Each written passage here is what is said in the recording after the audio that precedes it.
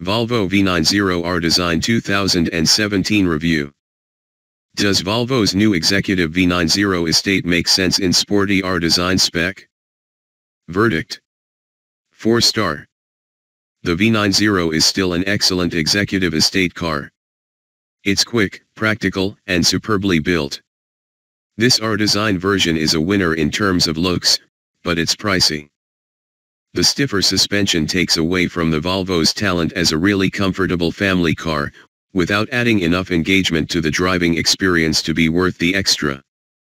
Go for a cheaper momentum and you'll get more for your money. Sporty R design spec wasn't available when Volvo launched the S90 and V90 last year. But now bosses are offering the executive car range in the racy trim, giving a Swedish alternative to BMW's M Sport and Mercedes' popular AMG line models.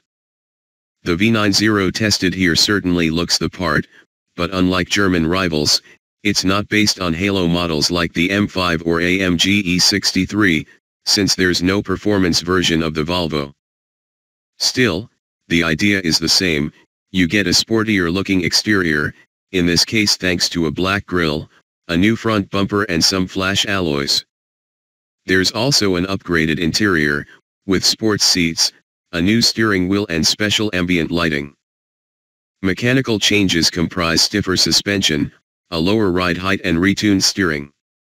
They're supposed to make the V90 better to drive, but while the steering feels more natural, the setup isn't very rewarding. The standard estate impresses by being really comfortable without sacrificing too much driver enjoyment. And although the R design offers marginally less body roll in corners, ride quality is compromised too much, it's not uncomfortable, but we'd like the option to delete the firmer setup. While there's a T8 twin-engine plug-in hybrid on the way later this year, buyers are initially limited to the economical D4 diesel and more potent D5.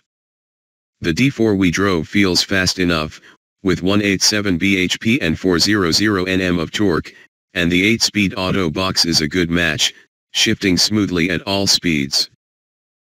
It definitely makes more sense than the all-wheel drive D5, especially considering the efficiency gains.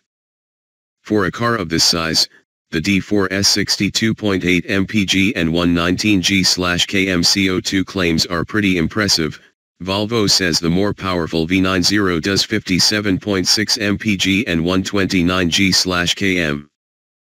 The 560-liter boot, 1,526 liters with the rear seats down, isn't as big as a Mercedes E-Class estates, but it's hardly small.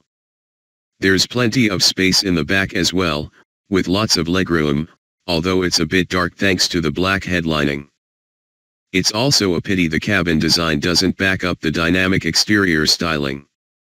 While everything has a high-quality feel, the tweaks are more of an alternative to than an upgrade over the high-spec inscription. And we'd still go for the better value Momentum version. Key specs. Model, Volvo V90 D4R design. Price, £37,455. Engine, 2.0 liter 4CYL diesel. Power slash torque, 187 bhp slash 400 Nm. Transmission, 8-speed automatic, front-wheel drive. 0 to 62 miles per hour, 8.2 seconds. Top speed, 140 miles per hour. Economy slash CO2, 62.8 mpg slash 119 g slash km. On sale, now.